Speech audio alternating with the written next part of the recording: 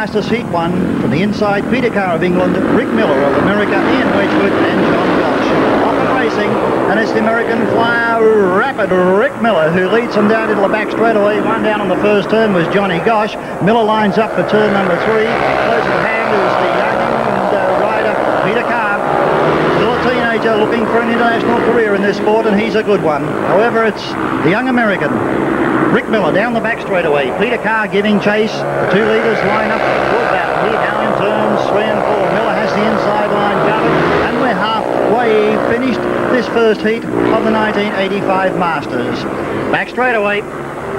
Carr pulls up onto the wide outside line this time, trying for a rim run around uh, Rick Miller. Can't do it. And the teenage American, Rick Miller, heads them here in the final lap at the place of pace. Peter Carr in second spot.